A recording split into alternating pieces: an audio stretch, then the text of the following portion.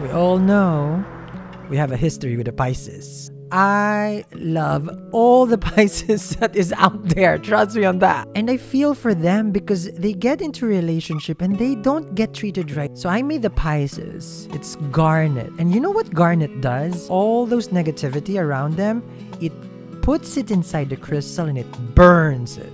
What's good with garnet too, what you think will manifest in an instant. This is available right now on our site.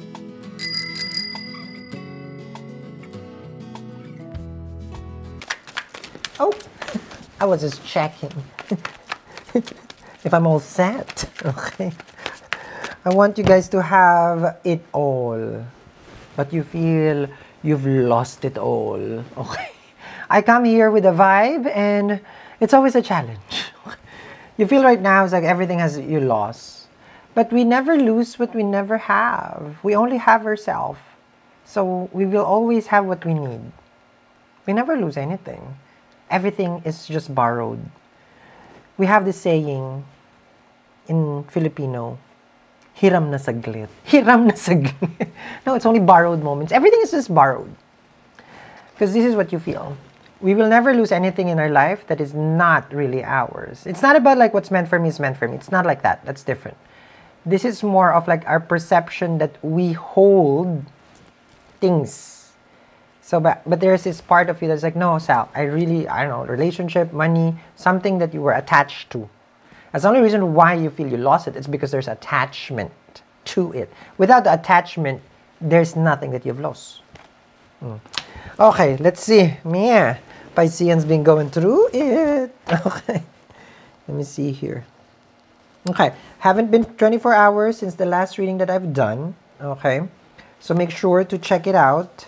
Today's subject is also for our crystal talk together with your um, astrology is for you guys. Oh yes, getting rid of debts.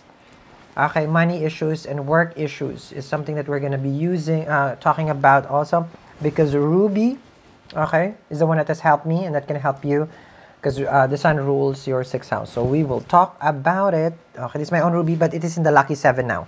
Okay and of course the garnet that manifests the things that you think of. So just be careful. This is free. I'll talk more in a little bit. Now, having the Hermit card, this is your seventh house, right? Um, it's hard because your seventh house is a Purus, which is a Virgo. So in a relationship, you're a Virgo. You're not a Pisces. You're not about like, oh, dreamy, dreamy. No, you're very much, you can be uh, like uh, a very well um, civil person. I do this, you do that. Not like a Libra way. Um, but because it's a Virgo, it's more of like organized. It's it's it is what it is. It's an Earth sign. It's a purist. It's a virgin, and that's why you probably feel like you know you get taken advantage of these people because you're coming in vulnerable. Okay. Um, this also shows that you are consistently con- uh, consistent with relationship. Once you're committed, you work on it. That's you. But the energy of the relationship is mercurial also because Mercury rules the seventh house, and mercurial does not commit. They don't. Well, they can commit, but they just don't know how to nurture a relationship. And often at times you'll find people like that. That's how you will connect. Ah, Ten of Cups. Oh, it's like, oh, Ten of Cups. Nine Three of Swords. Remember. Oh, okay, sorry about that. I'm just gonna silence this. Uh, remember that we are in the full effect of the solar eclipse and the lunar eclipse. So the next four or five months, that's why Remember, I gave you guys the um, solar eclipse uh, um, protection bracelet here. Um, the Ten of Cups with the Three of Swords, it feels like you are in the middle of trying and your person has been just um, very much like taking advantage and just being brutal about this. It's like you don't feel that they care. You don't feel like they do understand what you're going through. For others who's going through something difficult, they're really just, um, let's just say, uncooperative, the Three of Swords. I don't sense cheating yet, so let's not go there. But with Ketu in your seventh house, this is a separatist.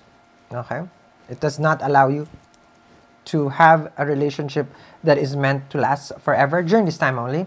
But, you know, don't, don't be like, oh my God. No, it's not like that. Not, not like that. It's more about like go within. Okay? Nine of Cups with the Three of Swords. This is a time for you. That's why. Okay, because we can't be always, you know, we, we if we are always with other people, we never really work on ourselves. Okay, and life is about really about our own karma and ourselves. Yes, as much as we would like to share it with others, the work is within. Nine of Cups, Three of Swords, your person is self-gratifious. But look at that. Wheel of Fortune. Things are about to turn around. Now, how is it going to turn around? This is what you're going to ask me. By coming May, when Jupiter goes to the third, it's going to aspect the fifth. And that's a strong aspect of Jupiter, which means it's going to bless you. Okay? You as the one who holds his chart, you as the one who's looking for a relationship, this is the obstacle, right? And this can be, this is like, this is uh, Rahu in the first. That's why I gave you the garnet, which can work with this confusing time, which can work, ooh, okay, sorry about that, okay? Because I got people, okay? Because the lucky seven, I need to know, uh, okay, so if you, you hear the bell, okay? It already lowered the bell because I made 12 and every time, so I know that I, you know, um, I cannot, I don't want to over, uh, how do you call this, over commit, you know? So now, I got, let me see. Okay, oh yeah, the, oh, two, okay. So, because I made 12, but, uh, but you know, I, I'm going to talk more about it, okay? Because, you know, this is, this is like a very, you know, I make this myself. Nine of Cups right here, okay? With the Wheel of Fortune, I'm seeing um, where you do want things to progress, Nine of Cups with the Wheel of Fortune. You do feel that this should be my time. It is your time. Venus is exalted in the first house, but Mercury in the first, in retrograde. It's, uh, it's actually your person, I feel, would come through and come back.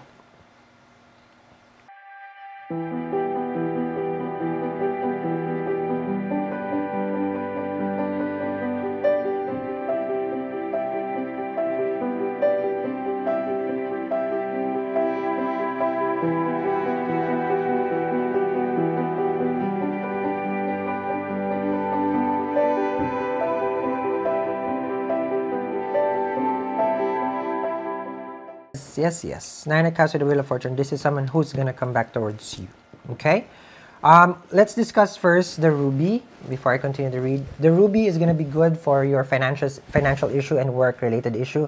Also for health. I'm not a doctor, it's not a health advice. Um, but the sixth house is ruled by the sun and ruby okay is with the sun meaning this is the this is the gemstone for um, for your sixth house. So this is something that can help you. But this is expensive. So i made i made a specific bracelet that you can get it all. Okay everything in one uh, this is called the lucky seven.